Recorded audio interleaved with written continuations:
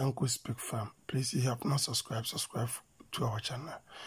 Yeah, we want to show you how water is very important to pigs.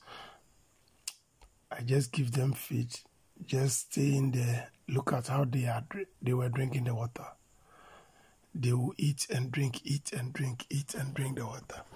Because if you check from the pig, the pig need water more than even human being. Because the pig use water for regulating the body temperature. It use water to transporting other nutrients around the body. It uses water to remove toxics and help with filtration. It uses water to add digestion. It uses water for lubricating and protecting the body organs. And for weaners need about 3 to 5 liters water per day.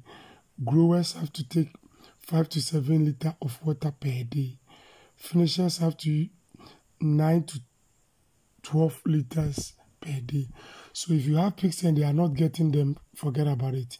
You can give them good food, but they will not grow. So you, if you know you don't have good drinking system, choose drinkers system that is sweet, suitable and produce system high flow drinking water and production. Thank you very much. Thank you for watching. Thank you very much. Please subscribe to our channel. Give us comments. We are here to serve you. Water is important. Try and give good water system to your pigs. Thank you very much.